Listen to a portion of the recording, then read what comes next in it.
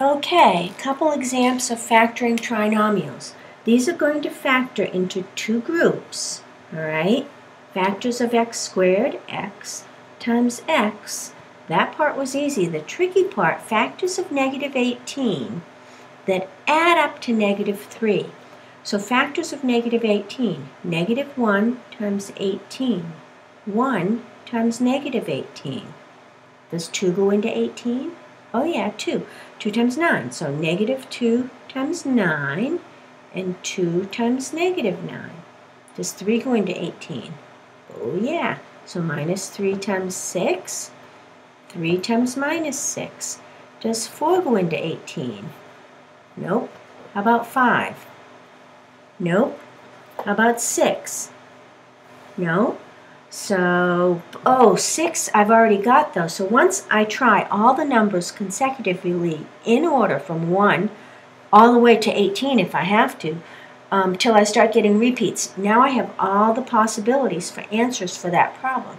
Now here's the tricky part. Only one of those six answers is going to work. Only one of those groups will add up to negative 18 in the middle. What group do you think that is? Oh, I mean adds up to negative 3 in the middle. This group here. So that means I do x plus 3, x minus 6. All right, let's try another one. Minus 10 is on the end, right? So I need factors of minus 10. I also need factors of x squared. That's easy. x times x. Factors of minus 10. 1 times minus 10. Minus 1 times 10. 2 times minus 5. Minus 2 times 5. Does 3 go into 10? Nope. How about 4? Nope. How about 5? Yep. 5 times 2. Oh, I have 5. All right. Once you start getting repeats, you can stop.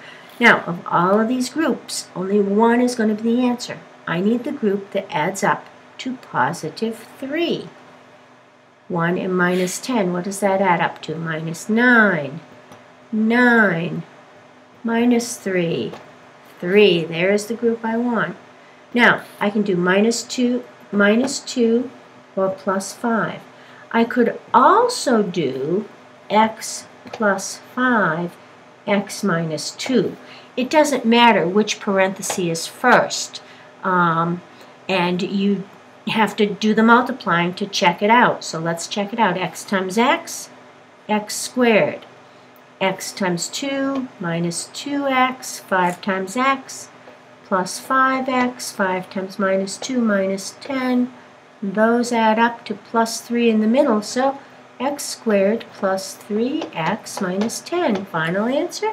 Checks. So that is the factor grouping. Now, I have a shortcut for checking. I usually just check for the middle term. Multiply these two, 3x and then multiply these two. So I call that the inners and the outers, negative 6x, and then I add negative 3x here. So that one checked. All right, there's some examples of factoring trinomials. Good luck with your homework.